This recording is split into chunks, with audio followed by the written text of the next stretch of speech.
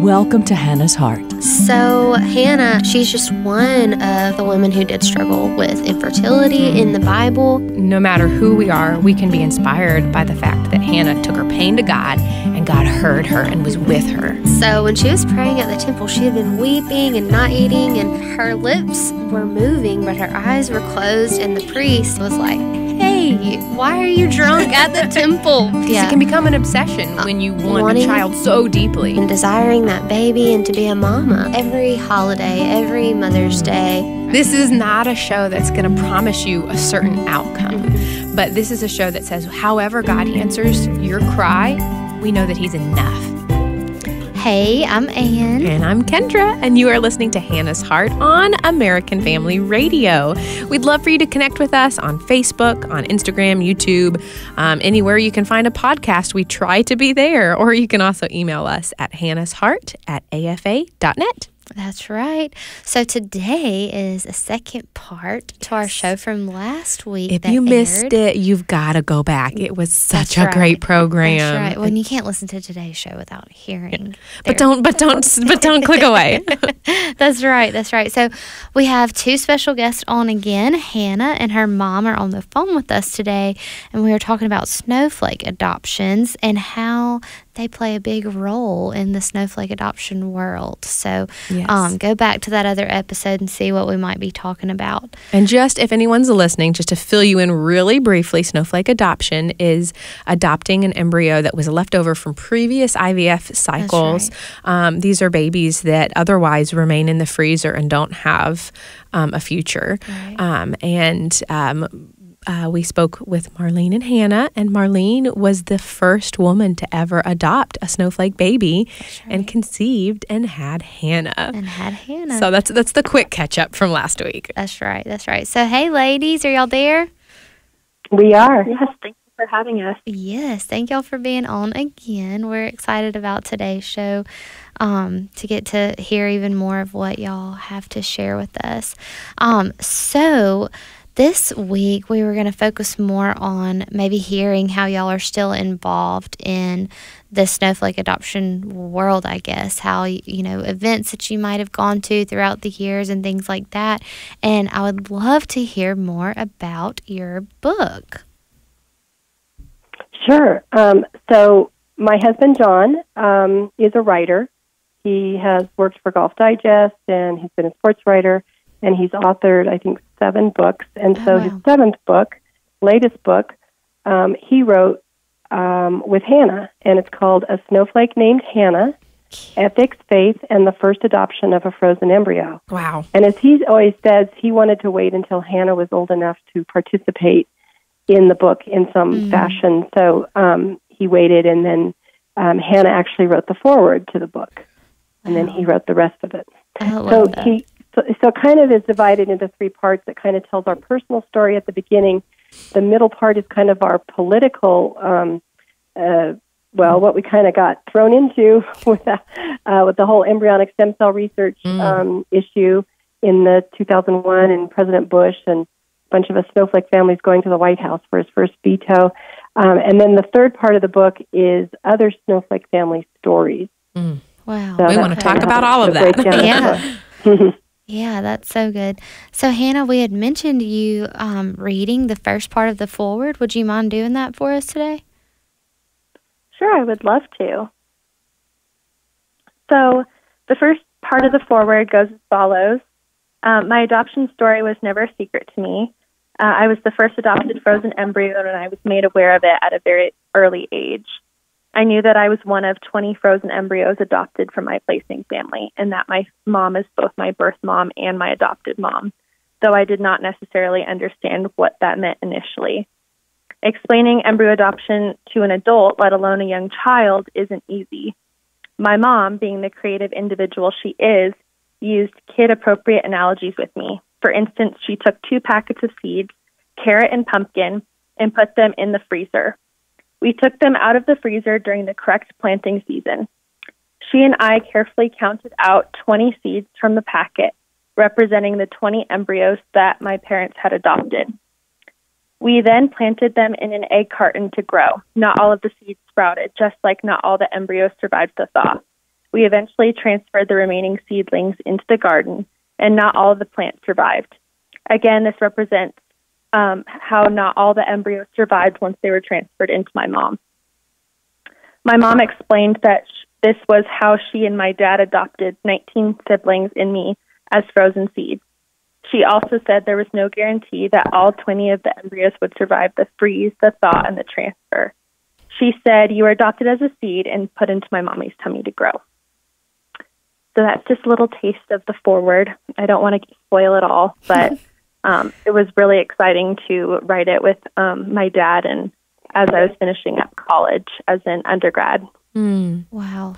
So statistically, you're really that's a creative way of making us aware of how harsh um, some of the the thawing and, and unthawing process is with IVF. Mm-hmm, Is that something you think a lot of believers are not aware of? Oh, Um, definitely. not I know sure. a lot of Yeah, yeah. Go ahead, yeah. I'm not sure how. I'm sorry. It's Marlene. Um, yeah, I'm not sure how much um, doctors tell them about Mm. that.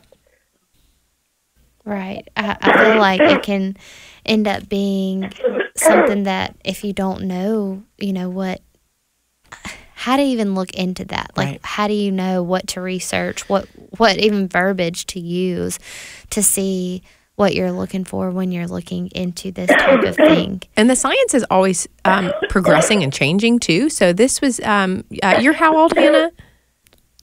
I'm 23. 23. So this was 23 years ago. Right. Um, it's it's still, I believe, um, pretty harsh on embryos, but they do things a lot differently today. And I would say for couples that are maybe considering fertility um, treatments, ask a lot of questions Right. and make sure that you understand what they're saying. If they if they're using language that you don't understand, it's okay to say, "What does that mean? Right, What is and until you really comprehend what's going on, um, because I do think there are more options available for believers now that are life affirming, um, but you have to find the right clinic, you have to find the right person, and you have to be willing to do it God's way. Right. So, Hannah, I heard um, from talking to your mom an interesting uh, and just really sweet thing that you thought of. Will you tell us about naming those siblings of yours? Yeah, so actually, I write about this in the foreword as well. So we watched the movie Heaven is for Real, and it's about a young boy named Colton who was explaining to his mother his experience in heaven. And he described the encounter he had with a young girl who he had said was his sister. And his mom was confused and noted that his sister Cassie was seated behind him at a dining room table. And Colton said, No, he had two sisters. You had a baby die in your tummy, didn't you?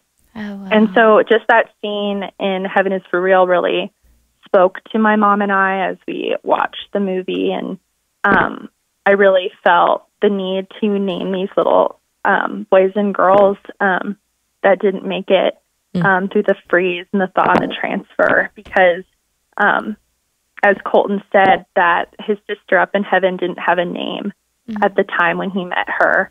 And so I felt that it was really important to do so. So we ended up naming them, um, all 19 of them, which actually took a lot of thought and prayer um, as, Yeah. a, as a family um, to really think through what names and how many boys, how many girls, and just kind of following God and um, what He um, was telling us their names were. Well, I think some people might have a problem with you doing that because it it draws attention to the fact that that is a life. That's a life, right? you know, and in a way that is is very convicting, where you realize um, these babies are babies. If you believe life begins at conception, even if it happens in a petri dish, Yeah. then you're responsible for how you treat that that life. And Marlene, you were telling us um, off air earlier about a, a ministry that um, specifically helps.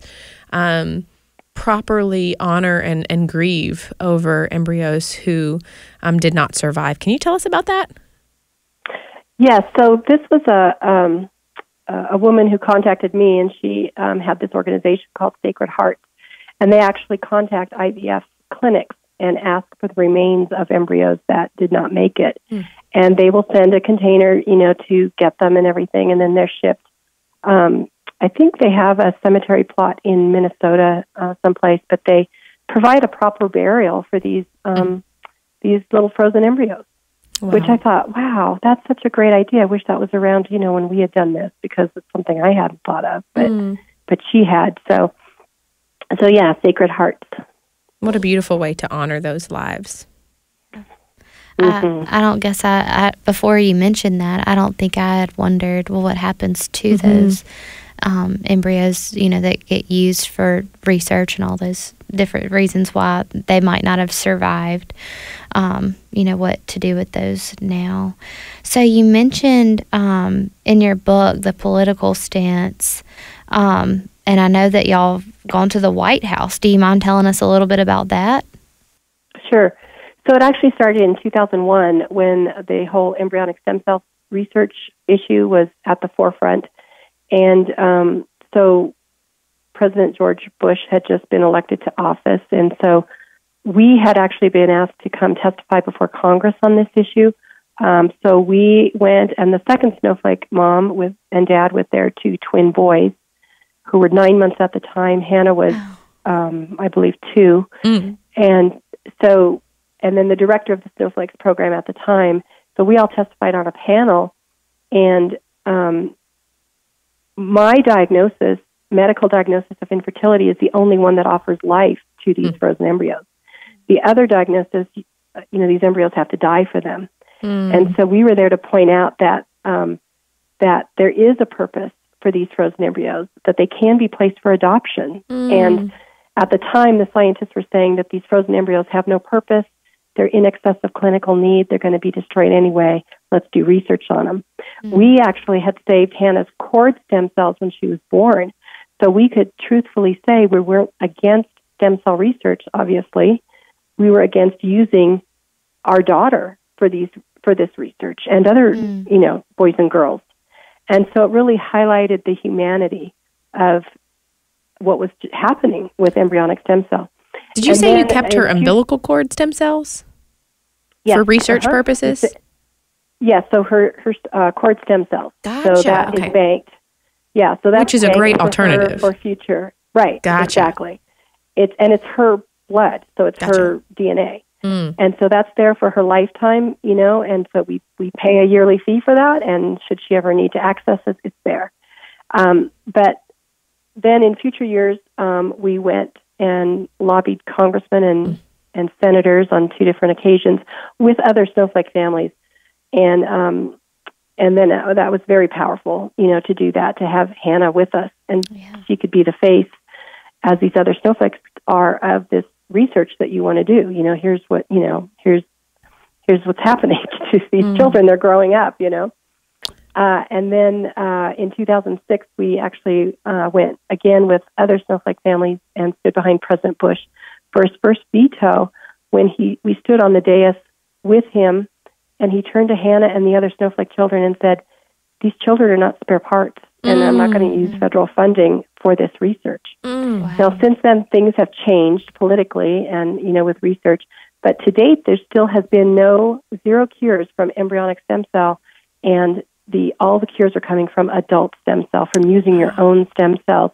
And you think about it, you know, would God really want Mhm. You to use His children for this research? No, Right, you right. know. And yet there's so So, much pressure uh, for the embryonic stem cell research. And yet the science doesn't even back yeah. that up to be effective. No, no. And now all you hear about is stem cell research. They don't even clarify which one it is, but it's Mm. adult stem cell when the you know it's the cures coming from that. So, mhm. Wow. so That I think they do that to confuse people. Can yeah. you tell me about the So- the problem that's being created of there being an excess number of um, frozen embryos? Like, is it something that a lot of fertility clinics are overrun with? Has it in the last twenty three years has the the demand increased? So when I testified before Congress, the estimate was 188,000 frozen embryos that remained. Wow. Wow. Um, it's up to about a million now What? in this country alone. Yeah. A um, million? hmm So I'm telling you, if you want to adopt, I would contact Nightlight because I think they have embryos that need they have boys and girls that need homes. It's not maybe m- more like a domestic program where you'd have to wait, you know, for a newborn. um, you know, you could get going right away. So, Wow. so prayerfully consider that. Marlene, did you have any questions from family or church members that like thought, man, this is really weird or looked at you funny when you initially began this journey? Uh, you know, well, I guess you had to explain what an embryo is. hmm It's like, no, we didn't adopt sperm. Right. no, Right. we didn't adopt eggs, you know. And so I really had to explain what a what a, an embryo is and how they get to be frozen embryos and why there is this need, you know, to adopt them. Mm. Um, so That's very important and helpful. And we encourage you guys to listen to the previous episode where we do talk about some of the differences because it's it's very easy when you get into all of these scientific terms to um, get confused. In fact, a lot of times they will refer to eggs, uh, embryos as eggs, and it's um, And it's that's not not, that. the same. Not the same. it is not the same. Um, okay, Mm-hmm. so we talked about obviously this is a growing thing. You know, people are finding it, finding out what that means. What are some of the newest numbers that are out there to let us know? You know, Like adoption numbers. yeah, yeah. So I can only quote from Nightlight Christian Adoption. There's been other organizations, like I said, that do not uh, or that do a a type of embryo adoption, but they're not adoption agencies, you know. Mhm. Um, so I just wanted to make that clear. So, um, but all of them are saving lives. Um, but again, you know, we have an open adoption. Um, Hannah's um, you know, we've we've um, been to Hannah's been to Disneyland with her genetic siblings. Um, she's on social media with them, and so um, you know, it's a very nice relationship. But through Snowflakes, there's been 925 babies born so far. Wow. Um, by the end of this year, um, they expect 990 babies to be born, um, and in January of next year, they're going to celebrate the birth of their 1,000th baby. Oh Wow. my Um, goodness, that gives me yeah. chills. So, so like I said at the beginning, it was slower moving because nobody knew about it. Like I said, Hannah was uh, over two years old and the or 21 months old, and the second and third babies were born. So there's 21 months difference between Wow.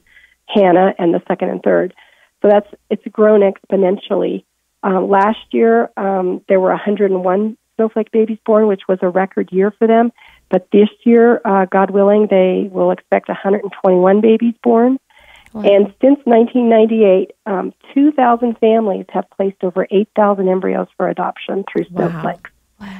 So some of those That's just a are, praise the know, Lord. still- exactly. Some of those are still waiting, you know, to be adopted, but you can tell how many, you know, don't survive the thaw. hmm Mm, You know, yeah. so freezing and thawing kills children. So, you know, Hannah is a miracle Survivor. that she's Yeah. here. hmm yeah. How long, Yeah. Hannah? How long were you frozen? I was frozen for two years. Two- That's crazy. You're like a modern day Captain America. That's so Yes, I am. crazy. And y'all mentioned um, some babies. The longest one that was frozen that we know of, it was frozen for how long? Yeah, it was um, it was frozen for 26 years. Twenty six So years. so that was not through Nightlight, but that was another baby that was born, and she actually um, broke the record of her sister, who I think had been frozen for 24 years. Wow. Wow. So they, any- they came from the same family. Any medical um, concerns that Hannah, after you um, were born, any any long lasting medical concerns that come from snowflake adoption? No, none that I've experienced so far. So a miracle baby that's No, completely nothing- healthy. And and I don't know of any that Mm. have issues be, because of the fact they were frozen. I You know, gotcha. the the main the main issue is not surviving the thaw. I gotcha. the freeze and the thaw. Yeah. I wanted to mention too about the name snowflakes because it's kind of a neat story of how that came to be, if I can. Yes, Um, do. we wanted we wanted to thank our attorney, and uh, he did all this for free. You know, looking into this, how would you adopt an embryo, and how you know all that. Um, we of course had to pay for the home study and all that, but um, we took him to a play in San Diego. Um, it was a Christian play at the Hotel Del Coronado, and it was Christmas time. And so this actress said, she said this line how she missed the snow because in San Diego you don't have snow at Christmas, and she was from Germany. And she said, in the intricate design of each flake of snow, we find the Creator reflecting the individual human heart. Mm. And she touched her child on the face. And my my attorney and I looked at each other, and at intermission, he goes, "We now have the name of our new program." and we again felt that was a God thing of how that name just was so perfect. Yeah. So chills. I got chills. yeah, I know. Nightlight has trademarked and registered that name, Mm. um, Snowflakes, um, for frozen embryos that are through Nightlight Christian Adoptions. And so many people um, refer to that just for a frozen embryo or for going through one of these other programs, but that's not the case. So Wow. when you hear 925 Snowflakes babies, those are the ones that are through Nightlight. So, Marlene, what kind of couple might be a good candidate to consider snowflake adoption? Uh, well, um, you know, uh, married couple, um, and I, I, you know, desiring to have children and desiring to be pregnant and carry their own adopted child, which I got to tell you is a dream come true for women. Yeah. I mean, this is a women's women's issue that is hugely overlooked. Yeah. I remember this desiring that with- myself. Yeah. And this is resonates with every snowflake mom I've talked to who hasn't already maybe had biological children, but that we could carry and give birth to our own adopted child was a dream come true. Mm-hmm. I experienced everything. I, you know, I breastfed Hannah afterwards. I and I relished every moment of mm. everything. You know, Wow. even the nausea. the first time. But I feel like when you struggle with infertility, those things that come about, I'm not saying it, it's just a joy to deal with all the time when you don't feel good and you're so tired. But I feel like those are signs of just thankfulness. You know, Um, it reminded me to be thankful for what my body was experiencing. Because I remember a time when I told my husband, I, I just don't think you know it's ever going to come to that point that I feel little kicks in my belly and things like that. And um, so yeah, we you know we have our miracle baby girl now, and we didn't do this, but um, it's definitely not for sure Yeah. that we will be able to experience that again without further help or uh, the possibility of doing this. So yeah, Well, and the accessibility is such a great factor. Sure, I mean, Sure, if, if there's a million snowflake babies waiting to be adopted, um, there are many couples that desire to adopt a baby so that they can experience every stage Mm-hmm. of life. But the truth is, the waiting lists for babies Well, are and- so long. that bond Mm-hmm. i'm not saying you cannot have that with an adopted child but that bond you know those uh, hormones that are released at Mm-hmm. birth you know for that mother and baby um, that's a way for you to still be able to experience that um, and then also giving a child life that might not have gotten this opportunity There's so many unique ways that God tells uh, couple stories, and this one is one of the most unique I've heard. yeah yeah And one of the neat things too about snowflakes is we have a great support group of us snowflake adoptive moms across the country, and so um, we just, you know, we just um, communicate with each other. Hannah's been to birthday parties of other snowflakes. We've been to baby showers, and um, you know, we help each other out. You know, uh, especially for the new moms, um, we try to partner with them and you know answer questions, uh, things like that. And I know um, some of the families don't live close to a nightlight to go to some of those opportunities, like the picnics and the galas and things like that. So they asked if Hannah could be a pen pal. Love so she was a pen pal with with a couple of the snowflake girls for a while. Well, Hannah, I would love um, to have you close us out in prayer and pray. Um, there's a lot of snowflake babies waiting to be adopted. Would you pray for maybe God to move on some hearts of our listeners to consider adopting them? I would be happy to. Father God, we come humbly before you today um, with just hearts open to this type of adoption and just um, seeking hearts that are open to adopt and have um, a family of their own and saving human lives. And so we just ask that the right families will be brought towards this program at Nightlight and um, that they will love and cherish them and that lives will be saved in the process, Lord, and that you have a family picked out for each one of them. And we ask this in Jesus' name. Amen. Amen. Hannah, real quick, what are you doing in life? Are you a student? Are you any any idea of what direction God's taking your life at this point? Sure. I'm in my second year of my Master's of Social Work program Wow. at Baylor University. Wow. Um, and I am wanting to do adoption counseling eventually. Love Um, so I'm really excited to pursue that in the near future. Amen. Clear that God had a plan for your precious, precious life. That's right. Thank you, ladies, for being on and also for all the work that y'all are doing um, with this process. I mean, this is literally changing lives. So And we just- saving them. and saving them, right. Well, we look forward Thank to you. hearing from y'all from again and just thank you again for being on. That's right. And give Thank us one you. more time that website if people want to um, to consider snowflake adoption.